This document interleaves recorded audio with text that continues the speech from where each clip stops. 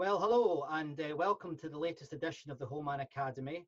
Today, I'm absolutely blown away to be able to introduce to you Robert Zubrin. Robert Zubrin is an aerospace engineer, uh, perhaps best known for his, his huge advocacy and expertise for why we should be going to Mars. So, Robert, welcome to the Whole Man Academy podcast. Thanks for inviting me. It's a pleasure, sir. It's a pleasure. Where, where are we? Where are we speaking to you today from? I'm uh, in Lakewood, Colorado, which is near Denver.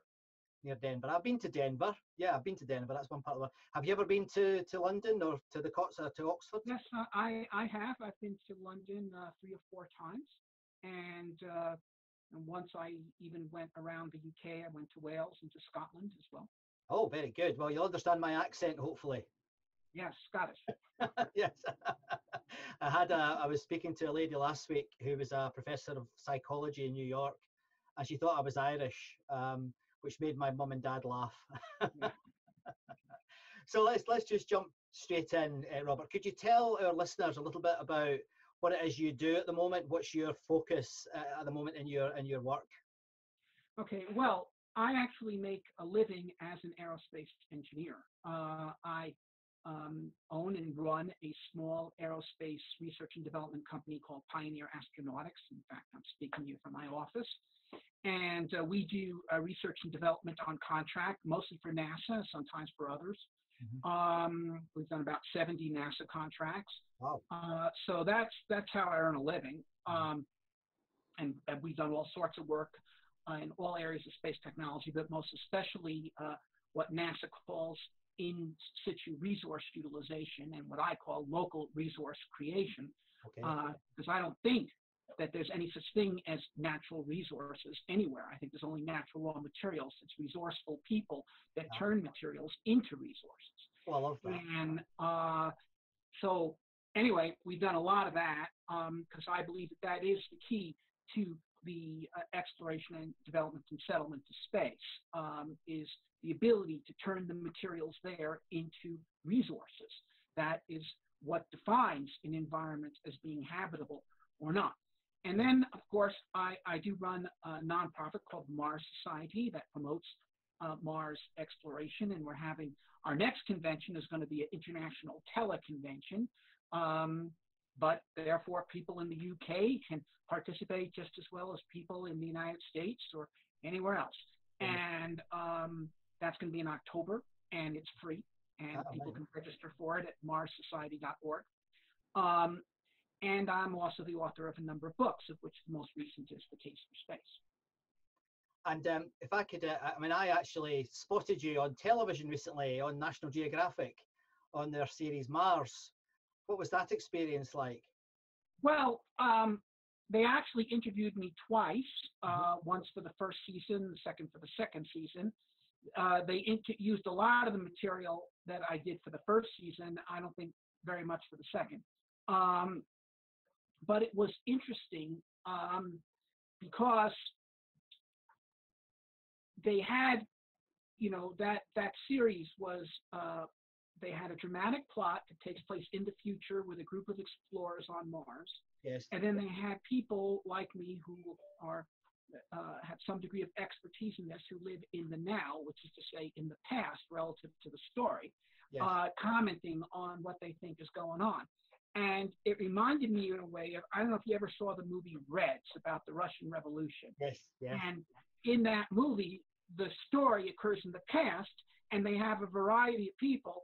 This movie was made in 1980, but people like Rebecca West was still around in 1980 and who knew John Reed and Louise Bryant and so forth, that, and the other uh, people who were living during the Russian Revolution, and they were talking about it. So there you had, as it were, the future talking about the past, and here we had the past talking about the future.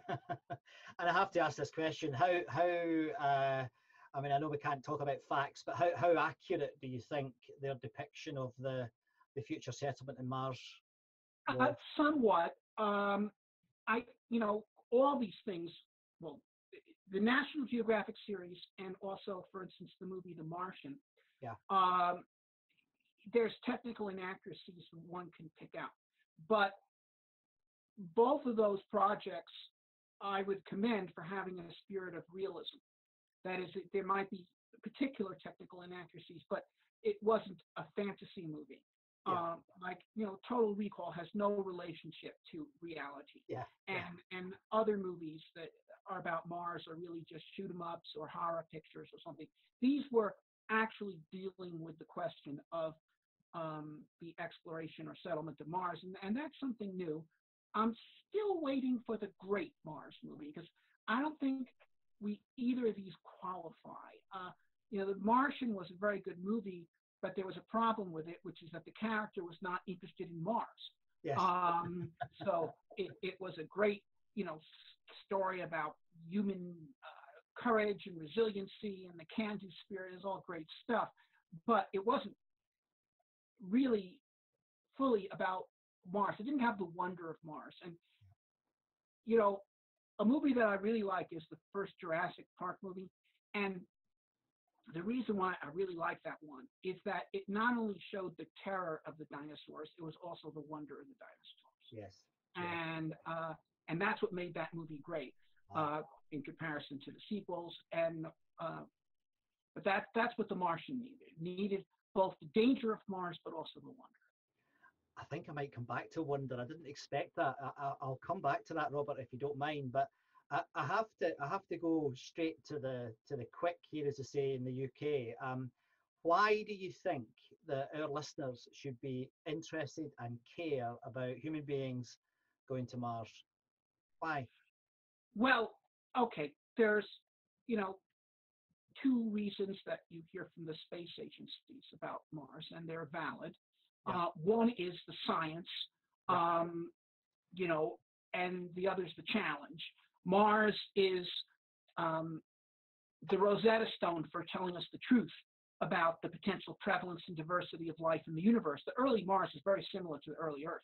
Yeah. And so, if the theory is true that life evolves wherever it can, then it should have uh, uh appeared on Mars. And we could find, and, and, and, since we now know that most stars have planets, if life evolves wherever it can, means life's everywhere. Um, but furthermore, we'd be able to find out if we do find life on Mars, whether it is um, the same or fundamentally different. Uh, see, all, all Earth life is fundamentally the same at the genetic level, at the information level. It all uses DNA and RNA.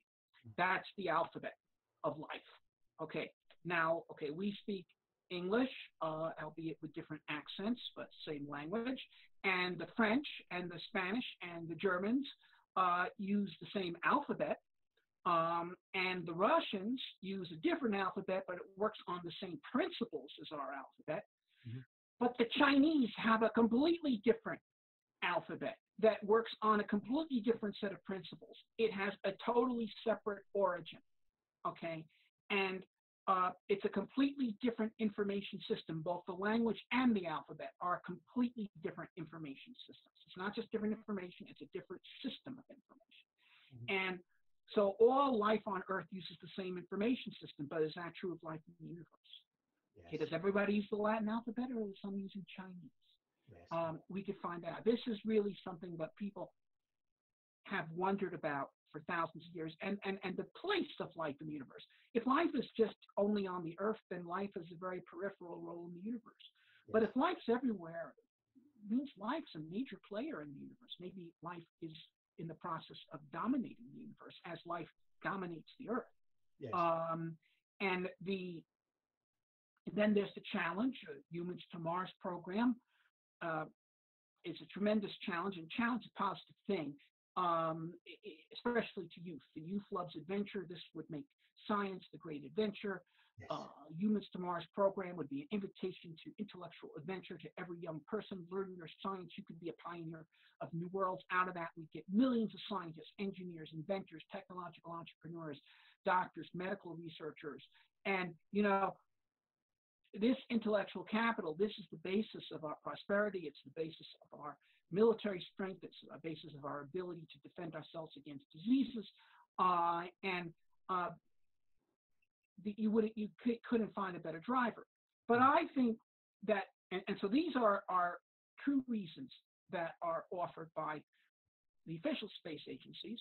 Uh, but I think there's an additional reason, and the additional reason is the fundamental question of whether we have an open future or a closed future. Okay. And this question, and it, it, it, and and yes, okay, that there should be a grand future with humans as spacefaring species with thousands of planets and thousands of cultures and literatures and, and traditions of invention and and all of this on, on, on numerous planets. That's something grand, and when you if you have the capacity to create something grand, then you should. But it's more urgent than that because how we conceive of our future will control how we deal with the present. And if it is believed, well, let me put it to this way. What is the main threat to humanity today? What is it that is it places us at risk? Is it climate change and resource exhaustion? Uh, well, these things have some validity, but they were certainly not the cause of the major disasters of the 20th century. Yes. Okay. The major disasters of the 20th century were not caused by stuff like that. They were caused by bad ideas. Yeah. And in particular, one bad idea, which is that there isn't enough for everyone. Right. Okay. There okay. not enough to go around. And so we are going to have to take it from them. Okay. And if they're threatening to become too strong, we have to knock them down because otherwise they will become strong enough to take it from us. Yes. And this idea, in several different forms, but at bottom, the same idea, is the root cause of the world wars, of the Holocaust, the Holodomor, and, and, and it, it, it, all sorts of horrors. And it threatens to be uh, the cause of worse in the 21st century. Uh, and but if you understand that it is not true that there's only so much to go around, because what there is to go around is dependent upon human creativity. And the more creative people and the more creative nations that are taking part in this grand enterprise of opening the human prospect, the more there is going to be for everyone. Okay? I mean, this is demonstrably true in a way. I mean, the population of the world has gone up and the standard of living has gone up, not down. Exactly the opposite of what Malthus said. Okay. Yeah. And, and, and it hasn't just gone up a little, it's gone up a lot. Uh, and um, the, the, the, but nevertheless, somehow it seems that it must be true. There's only so much land. Hmm. There's only so much this. Germany needs living space, blah, blah. Yeah. Nonsense, but it seems like it's true. Hmm. Uh, but if we can show that it's not, show it in the most tangible way by showing that there's an open universe for us if we work yes. together. Yes. We can wow. have the grand future and not the horrible future. Yes. I mean, that opens up a whole range of, of supplementary questions. So if you don't mind, I'll, I'll, I'll the, the, the, sort of the, the first thing that comes to mind, um, I remember Carl Sagan saying, you know, his greatest fear was that and he was talking about America, and I think you probably know where I'm going here. His greatest fear that you would have a society underpinned and based on engineering and scientific principles, but where no one understands those principles. Um, and I, I, I wonder if you have any thoughts on that. But maybe you don't have to, but maybe in the context of the response to COVID, um, because there has been an awful lot of um, well questionable responses to COVID across the world, not just in America. Um, but um, do you think that you know is this i mean i, I my personal view is it's it's an it we have to go because if we don't go you know we won't be able to deal with things like covid in the future because covid is only a I mean, we're very lucky in many ways with covid as you know. Um, but um, it, what do you think about that? Is, is, is, is could that perhaps give us more leverage to see uh, more people getting behind your ideas about space exploration well okay once again um, Science isn't facts in a textbook. Science is an attitude. Yeah. Okay. It's yeah. a rational attitude. Uh, one of investigation, questioning, rationally thinking through solutions, seeing what's true and what's not true. Mm. Um, and yeah, there have been cases in history, late Roman Empire, uh, certain periods in China, when civilizations no longer were able to do what they used to do. Yeah. Okay. When they lost hold of, of, of, of those traditions that made them great. In fact, the, the you know the real definition of decadence isn't um, well everybody's going to you know pornographic parties and so forth, although that could be part of a decadent society. It's when a society loses hold of the principle that allowed it to be born, grow, and prosper. Right. When it loses hold of its generative principle. Okay. Okay. Mm-hmm. Now, the generative principle of Western civilization is rationalism. It is the belief that the human mind has the capacity to understand the universe, and that if I mean, sometimes get it wrong for sure, but if we think hard enough, if we look hard enough, we can find out the truth. Yes. Okay. That there is truth to be discovered, and that we can find it out. And um, and that's an attitude, and it's the attitude that's led to technological progress. It's the attitude that's led to uh, improved systems of justice, looking for what is right. Okay, trying to figure that out. Um, natural um, natural law and science, natural law and society. And uh, and yeah, sure, there have been irrational uh, responses, um, and I think, frankly, a lot of magical thinking uh, going on right now. Yes, um, and uh, of course, um, Trump is pretty nutty, but the the the response of his opponents are equally irrational, thinking they can just print money and we don't need to go to work. We'll just keep paying people not to work, uh, and so forth. That you know, personally, um, I think moves to impose quarantine were well taken, but they can't go on forever. And that once you're in quarantine, you're in a race against time to create mass testing ability so that you can release people and then re-quarantine only those who are infected.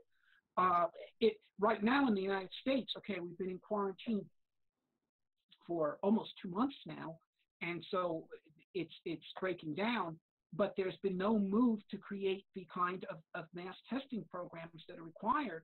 Yes. Uh, you know, as we bought two months, it cost of trillions of dollars, but but we didn't um, um, uh, do what was necessary. So you've got these two different forms of magical thinking. On the right, the idea, well, we'll, we'll just pretend it's not there, and on the left, well, we can just print money and and and and, and not have to work. Yes. Um, and uh, so sure. And then, but of course, now who are we depending on right now to find these answers, uh, to create um, quick mass testing kits to create vaccines or cures, treatments? Well, it's this scientific uh, apparatus that has been created, millions of, of, of, of, biologists and medical researchers and and and, and all the rest. Uh, and uh, you know, and I mm-hmm. think, well, frankly, I think they are going to succeed at, at a certain point. There will be a cost, both in lives and treasure along the way, but I think we can beat this damn virus. But it's because we are a society that has um, invested in science, and by investing in science, that doesn't mean just investing in laboratories. It means promoting science and promoting a scientific attitude and, and, and scientific education yes. uh, and the, the, the, the, in the population at large. This is what is going to make us defensible. This is why, I mean, one thing that we have seen, look, when if you read about the bubonic plague hitting Europe in the 1300s, people thought it was the end of the world. Yeah. People, uh, and societies broke down, and people thought that this was God punishing us for sin and so forth. It, it created terror. Okay. In 1918, you didn't have that kind of terror because people did understand that diseases were not divine punishments, but they were caused by germs. So you didn't have this kind of mass terror, all, but you nevertheless didn't have a mature medical science that was able to come up with a cure or a vaccine. Um, the, the, the, and the quarantine measures weren't inadequate. Um, this time around, I think we're going to do better. So, to the extent that we are no longer living in terror from these things, this is because of science. That's an interesting reframe. I hadn't heard anyone putting it that way before. That's interesting. Thank you. Um, can I? That leads me to another area that I, I, think we need to think about, and I would love your advice on it. Um, we seem to be having um, growth in three things at the moment uh, uh, at exponential rates. There's artificial intelligence, there's biotech, and there's nanotech. And people are getting interested in that, whether that's for commercial reasons or whatever, but they are getting interested. Now, there are some bubbles of interest in other types of science, like space technologies. It's starting to happen. My hypothesis here, and I, I might be wrong, and obviously you tell me if I'm wrong, but uh, I think one of the issues is that that scientists, and I'm a former scientist, but you know, we are not we are not as good at communicating as we should be. Um, have you any thoughts on that? But also a supplementary for the scientists in our community who are listening to this. What advice would they give them to you? Because I mean, I, I the, the, if anyone hasn't read this book, this is uh, Robert's latest book, The Case for Space. It is a technical book, but it's easy to read. It is a lovely book, sir. So well done. It's a, it's a terrific book, and I've got markers all over it because I think it's fascinating. But you you seem to have stepped across that Rubicon, you know, and there's not many names that you're there with, in my opinion. You know, the, certainly not contemporary names. Um, so, uh, what, what do you think? I mean, what do you think about that as a challenge? Well, it is, and um, I think it's an important challenge for people who are actively engaged in science to convey uh, not just the facts, but the adventure, the excitement of it. If you convey the excitement and the adventure, then people will go and learn the facts. Yeah. Um, you know, I think um, that the way science is taught, um, you know, on one hand, it's a great success story. Graduate millions of scientists. But on the other hand, uh, I, I, think it could certainly be improved. And one of the things that um, I would introduce into science classes is debates. Oh, For instance, right. I mean, because real scientists are always in debate. Science yeah. is never settled. Okay. Yeah. Uh, you know. Never finished, uh, is it? You never say, well, I'm finished with physics. We'll move on to biology now. right. Uh, well, you know, you know, Viking landed on Mars, and there were three experiments that were for life detection that gave what could be interpreted as positive signals, and there's one that uh, gave what would have to be interpreted as a negative signal. And the scientists debated each other as to, you know, how to sort this out. I'd like to have a high school debate on that with different sides saying there, it discovered life, it proved there was no life. Then you come to grips with the matter. Okay, uh, instead of teaching the Big Bang, how about debating it? Uh, you know, um, and uh, because there's a lot of questions there. Yeah. But what about this multiverse stuff? Okay, how about free will? Um, you know, um, they, they, they, these questions, uh, these are grand questions. Yes.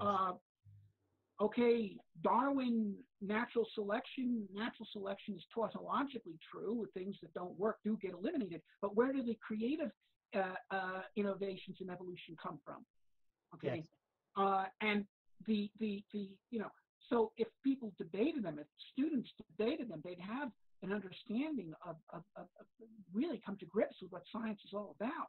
Wow, um, I love that, and I mean that that that, and I said I would come back to it. Um, I, I, read in not a lot, but there's the, you see it in the scientific literature quite a lot about wonder. That word wonder that you use mm-hmm. right at the start of our conversation. What is that, and, and and and why do you think it's important for our listeners to think about wonder in their lives? big question. Sorry. well, there's a lot there to wonder. Yeah, yeah. Uh, and this is fantastic universe that we live in, and how it is able to well, first of all, how it was able to create it in the first place, and then how it is able to create ascending orders of incredibly intricate complexity. Yeah. Um, and the is is is mind-boggling, and and it's really worthy of thought. Yes. And and when you do think about it, well, there's a chance there to rise above the everyday you know problems of our lives and and and why you can't stand this person uh, is this one out to get me because he hates my kind of person or or this or that or or or how come she's not paying attention to me and blah blah blah. And and and all this you know in other words okay we live in the gutter let's look up and see the stars. Yeah yeah. What, what um what do you wonder at what's the thing that that really you every time you think about it you go oh wow well i i do wonder uh i mean some of these are the fundamental scientific questions hmm. um why are the laws of the universe friendly for life? Um, you know, uh, there's about 19 or 20 fundamental constants in physics. And while, for instance, th- there's a reason you could come up with why, for instance, the law of gravitation should be uh, of the form of the equation that it should go as the product of the masses divided by the distance squared. There's a constant in front of that uh, called big G. And why is it that number instead of twice that or a million times that or one millionth that? And actually, it turns out that if it was more than twice that or less than half that, life would be impossible. And then there's about 19 other similar constants in all these equations. And if you change one of them by a, a fairly small amount, the, the whole universe would be impossible and uh, or impossible to support life, put it that way, or even yeah. stars. And the um, so why is this? Uh, now, okay, religious people can say, well, that's how God made it, um, but then you've got a lot of other explaining to do. Um, and, and and so this is really a fundamental question. And then and then how do we evolve order out of this? How do we go from atomic particles to molecules to organisms to you know uh, civilizations? and and and and um, uh, it's it's really something. I mean, we we have uh, we don't really understand. I mean, it, it, you can come up with fast answers. Um, you know, I mean, I do think you know, for instance, the theory of evolution is in general the uh, correct form of the theory, but when you actually get into it and the complexities that need to be evolved in order for anything like a, a human being to exist, uh, it's phenomenal. And uh, even a single cell is a phenomenal level of complexity, let alone a trillion of them working together to create a cooperative organism and, and, and so forth. Yes. Um, yes. There's a lot there to be discovered. and the first step of the discovery is looking at what there is, then trying to think, how can we explain this? Yes. Okay. One of my uh, favorite lines that often uh, gets quizzed Luke says that we we can figure the cosmos, but we can't quite understand how a mouse works. Yeah. Exactly. It, it's true, isn't it? I mean, it's a... right. Well, except that if you don't know how a mouse works, you don't know the cosmos. Yeah. yeah. Yeah. Yeah. Yeah. Now, if you don't mind, I've got a couple of questions for you from our, okay. from our listeners. Uh, are you okay for time? Uh, say another 15 minutes. Uh, that's fine. That'll be more than enough. So I've got a question here from uh, a chap called David Clark. And he says, if the human race can't make a success of living on this beautiful and richly diverse planet, what makes you think that we stand a chance on a, a barren lump of rock like Mars? Well, you know,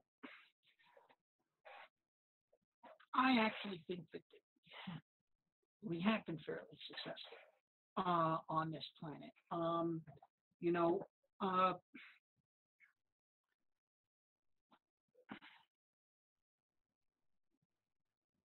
my father, who was born in 1916, saw his mother die when he was three.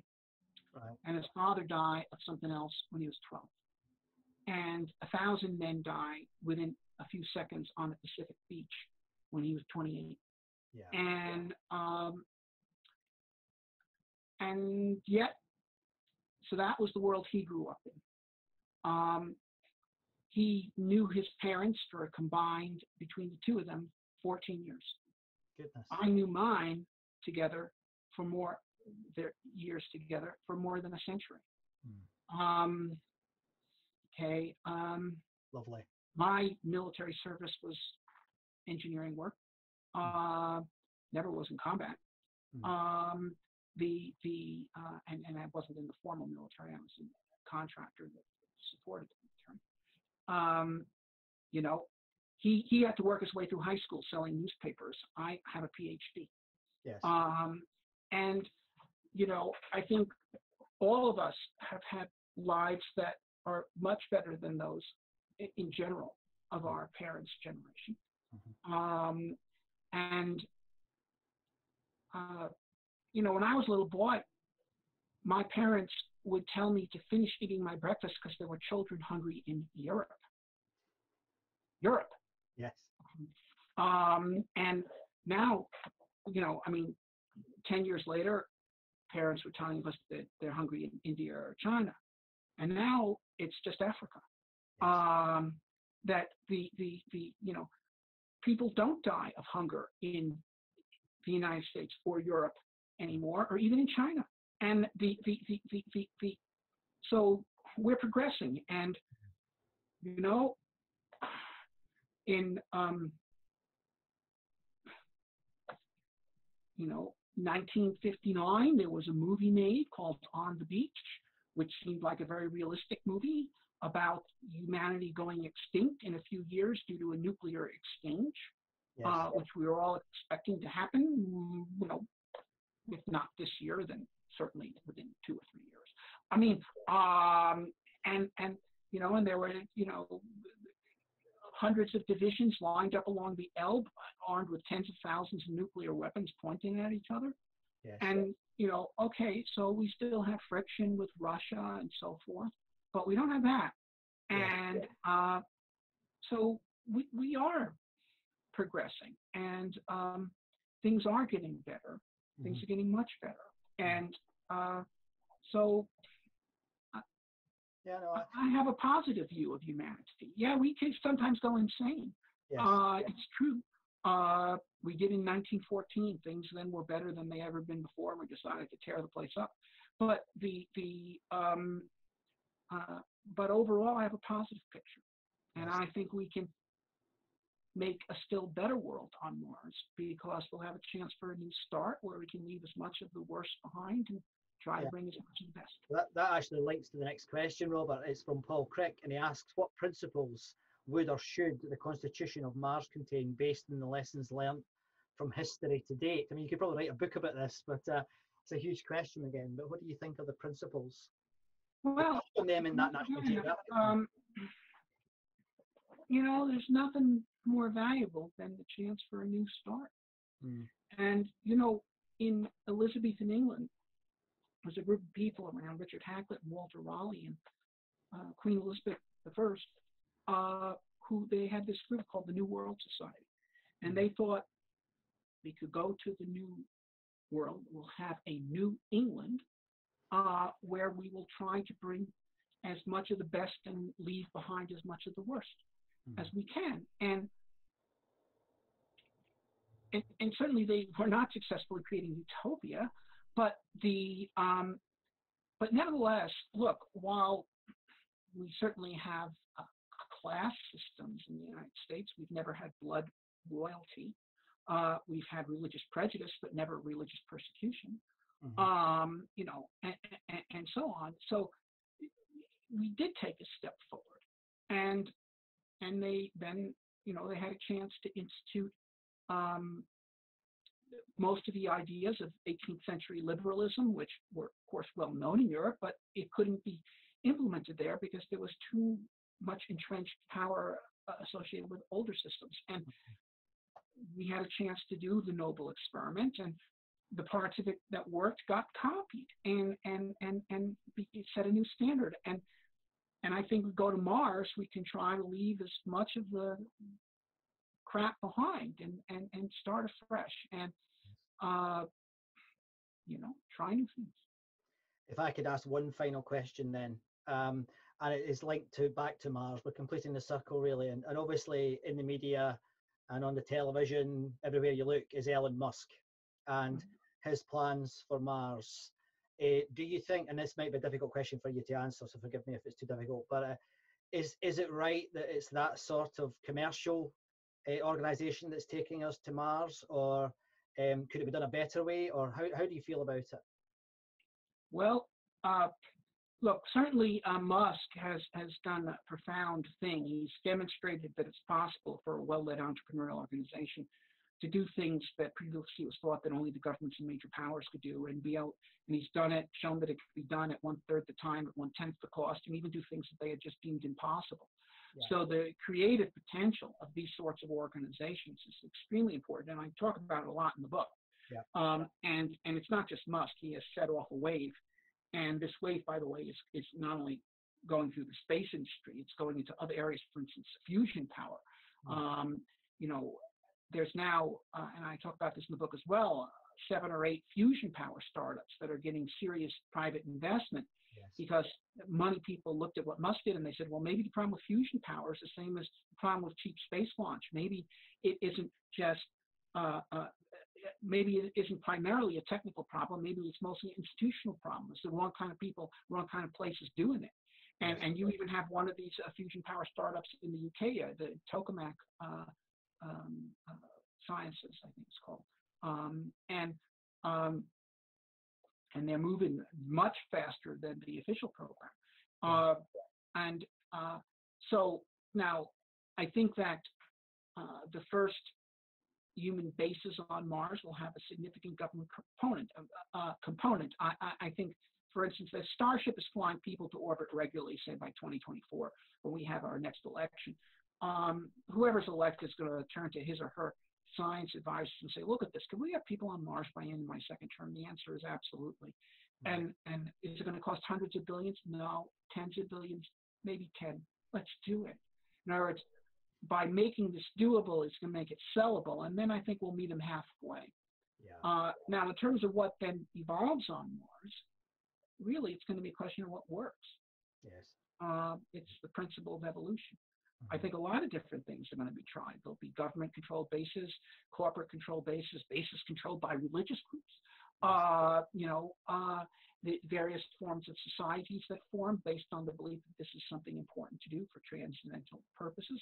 Mm-hmm. Um, who knows? But the forms that work, the four, and, and in particular, that offer people a chance to more fully realize their human potential than previous forms of society on Earth, they will attract immigrants. They will grow. They will prosper. And they'll become examples not only to the other societies on Mars, but to everyone on Earth. Robert, you have given us so many things to think about. Thank you very, very much. Um, it's been an absolute pleasure to meet you, sir. Uh, my name is Scott McArthur, Creative Director of the Whole Man Academy, and my guest today has been the wonderful Robert Zubrin. Thank you very, very much indeed. Thank you, Scott.